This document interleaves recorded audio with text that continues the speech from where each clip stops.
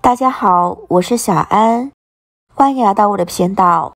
米饭不要直接蒸着吃啦，蒸米饭的时候加上这种食材，又补钙又补铁，增强钙质，加强骨骼健康，使我们身体特别的强壮有力，整个人气色越来越好，越吃越香，越吃越健康。我们现在准备大米。大米适量就可以啦。大米具有很高的营养价值，口感也很好的，香甜软糯。大米中含有钙、铁、膳食纤维、维生素、不饱和脂肪酸，还有镁、钾，营养特别的均衡的。在南方，每天都会吃大米的。大米作为主食，真的是既有饱腹感又营养的食物。那么，怎样能够让大米的营养更好的释放出来，吃起来更好吃、更有营养呢？今天这个做法也是比较不错的，深受很多朋友们的喜欢，特别的好吃又有食欲。我们我们抓拌抓拌，把大米淘洗干净就可以啦。淘米的时候次数比较多，两遍就可以。淘的比较多，营养会流失的，口感也不是很好。准备一把黑木耳放入水中，水需要是温水的，温水泡发的是比较快的。再来一点面粉，还有白糖，抓拌抓拌。我们浸泡一会儿，把木耳泡开。不一会儿的功夫，木耳泡发好啦，再抓洗干净就可以啦。木耳含有特别丰富的膳食纤维、铁、钙、锌。维生素、镁，营养特别的多的，平时要多吃木耳，又能够补钙，还能够补铁又补血的，营养特别的丰富。我们抓拌抓拌，把木耳洗干净。木耳沟壑里面有好多的灰尘，不好洗的。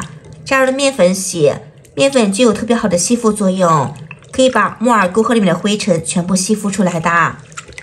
并且我们泡发木耳的时候，加入一勺白糖，用温水泡发。几分钟就可以泡好啦，泡发的木耳又大又好的，非常的不错。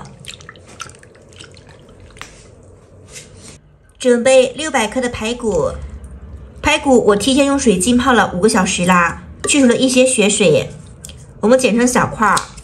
排骨里面的血水是比较多的，在吃之前一定要好好的浸泡浸泡，洗一洗，去除血水，这样腥味能够减少一大半的，排骨吃起来没有那么的腥。也不柴啦，排骨营养特别的丰富，尤其是瘦的排骨，脂肪含量比较低的，吃排骨又能够补钙，又能够补铁，强壮身体，增强钙质。我们再淘洗淘洗，把排骨洗干净就可以啦。我们准备一颗胡萝卜。刮去外皮，胡萝卜的营养特别的丰富的，含有钙、铁、维生素、膳食纤维。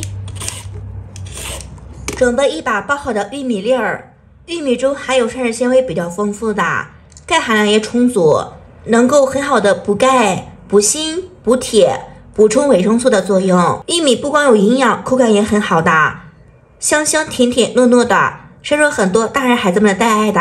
其实呢，玉米真的是比较好吃的，无论是直接煮还是煲汤，都具有很高的营养价值，还有很好吃的。准备一小颗土豆，切成厚片。土豆中的营养是比较丰富的，含有钙、维生素、蛋白质，营养均衡。它的口感也很好的，还有淀粉，吃土豆。还有营养又好吃。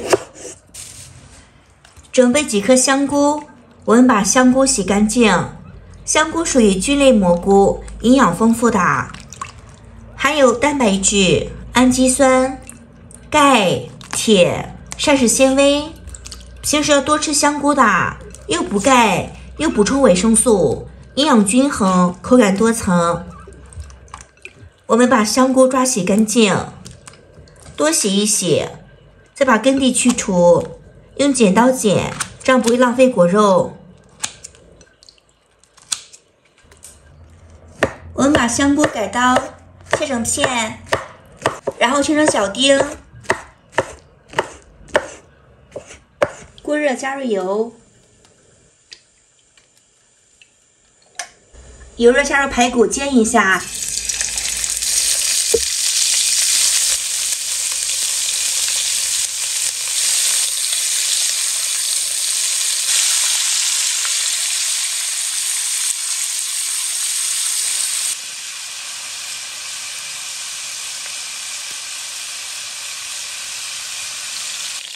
排骨煎好啦，两面金黄就可以啦。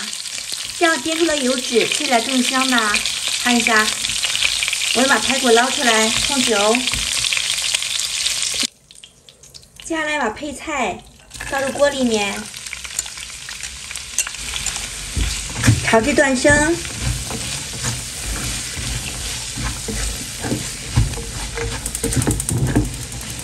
菜炒的差不多了，再把排骨加进来。加入少许的老抽，来点生抽，再加入少许的盐，翻拌均匀就可以啦。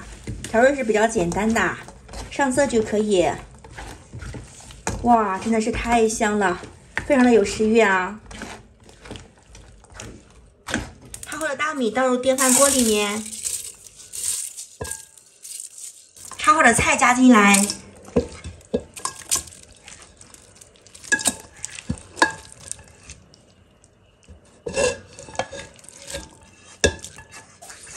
加入适量的水，不要太多啦。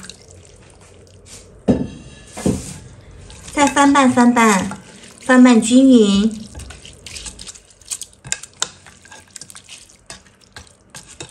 盖上盖子直接焖煮就可以。时间到，也焖煮好啦，真的是太香啦！亲爱的家人朋友们，制作视频不容易，请您用快的小手帮我点个赞，支持一下吧！您的每一个支持和点赞都是前进的最大动力。感谢所有朋友们的支持，谢谢大家！蒸米饭时多加入几种食材，真的是太有食欲啦！主要是营养丰富，又补钙又补铁。还能够增加抵抗能力的，增加钙含量。这些食物呢，蔬菜、肉类都具有很高的营养价值的。